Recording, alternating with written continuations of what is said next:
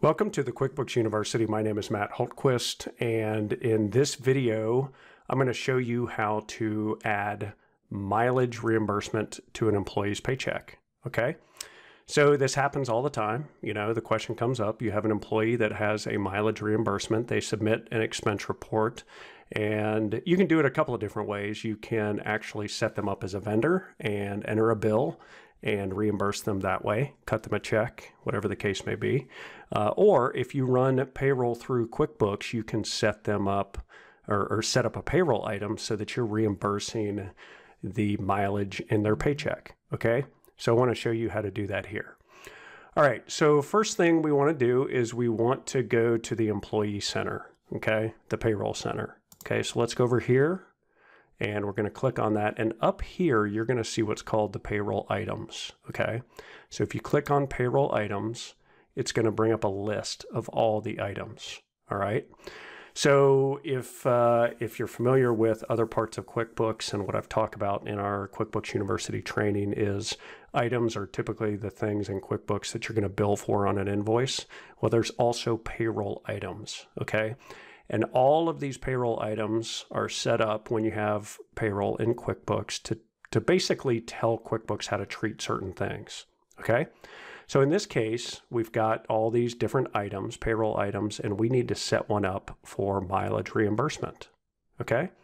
So what we're going to do, you can just right click anywhere on this list and you can click on new. Okay. And select the setup method, easy setup, Okay, that's what we're going to choose. We're going to click next. Okay, and we're going to go through here.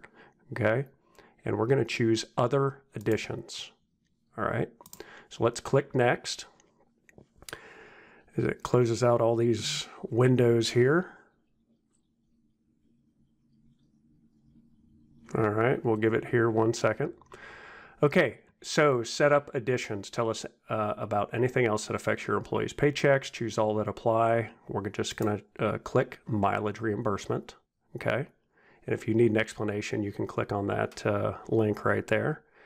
Go ahead and click next. Okay. And then we click finish to save your new payroll item. Okay. So now if we have our payroll list here, we should be able to look down here and say mileage reimbursement. Okay, tax tracking is none because this does not have taxes. Okay, so if I double click on this, it's going to show me a little bit of different screen. So you can change the name of the addition here. Mileage reimbursement is fine.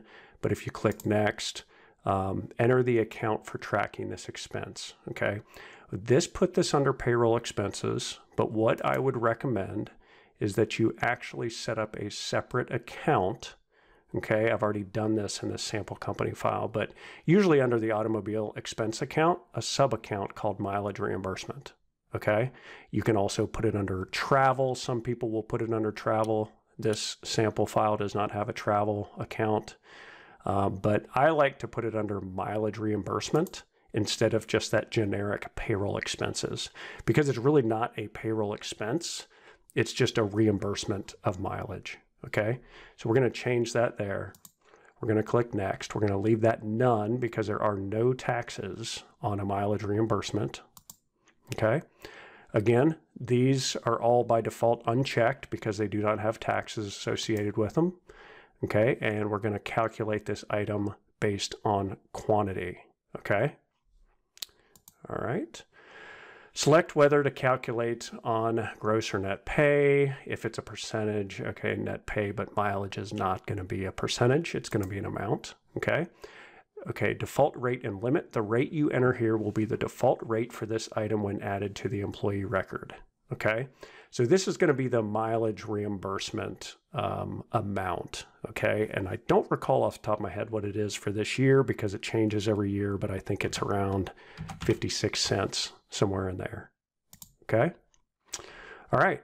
So now we have our mileage reimbursement set up. And when you go to pay your employees, I'm going to see if I can actually do that in this sample company file.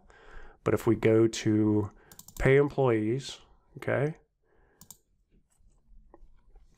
and if I open up one of these uh, paychecks here, you can see here, it's not going to automatically include this, okay?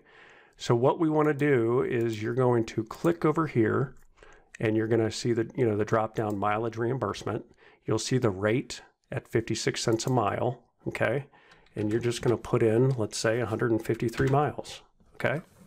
So what you'll see here is when I did that, it's going to put mileage reimbursement over here in the paycheck at $85.68, okay? Which is just 153 miles times 56 cents. All right.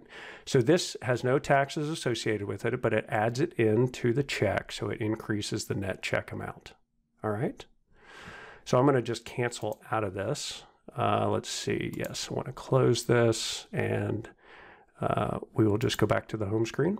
So that'll do it. That's how you set up a mileage reimbursement to be included in an employee's paycheck. And it cuts down on having to set them up as vendors and having to cut a check or write a check or whatever the case may be. You can just include it in their direct deposit and have it reimbursed right through payroll.